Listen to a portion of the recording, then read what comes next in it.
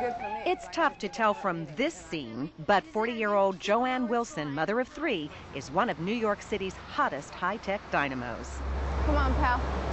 Every day, after she takes the kids to school on the E train, she switches hats, hails a cab, Hi. and goes to war, fighting for her other kids. Wilson is the chairman of MOUSE, short for Making Opportunities for Upgrading Schools and Education. We got $100,000 on Friday from the city council, confirmed. When do we get the check? Tiny nonprofit Mouse is helping to hook up the city's 1.1 million students with powerful high tech resources. As chairman, Wilson uses her extensive contacts in New York's Silicon Alley, where she sits on several corporate boards and where her husband is a venture capitalist. I was actually in Silicon Alley from the very beginning. A lot of the people in the alley who now are running these multi-million dollar companies, I knew them when there was three people in their office. Since 1999, Wilson has helped bring Mouse over a hundred corporate partners like Verizon and Citigroup, as well as high-tech firms. These right here. She's raised cash for Mouse's $2 million a year budget and coaxed many of her colleagues into volunteering for hands-on training as well. From the very beginning, they had us signing up as volunteers, and we were literally getting on our hands and knees and wiring schools and teaching workshops and, and working with the students and working with the teachers. I think what I'm really doing is I'm giving them a soul. They all think about the bottom line and making money and, and their stocks and their companies, and it's very stressful.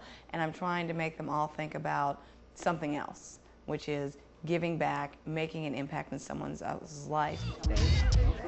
I think the bubbles are good. Wait, pick the dark bubbles. Let's be honest. In this Mouse program called Young Women's Tech, the pros show teenagers how to build an online magazine. We came up with the name Issues with Issues.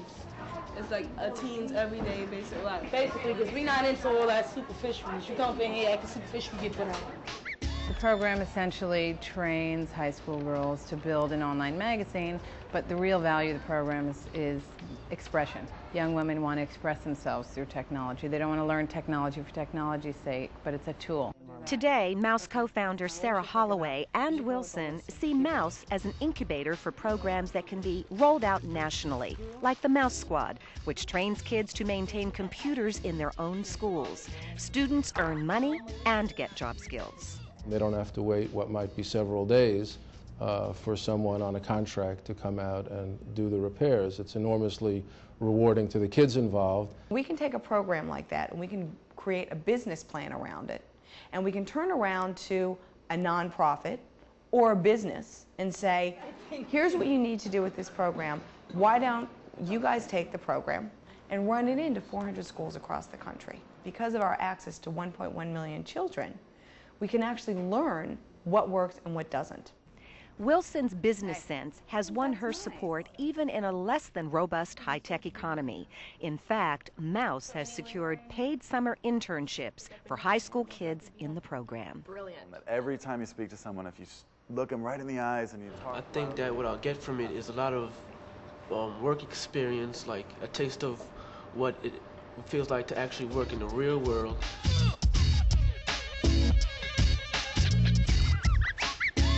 They really opened me out. They said you have to speak more to people, you know. The Mouse program really brought me out.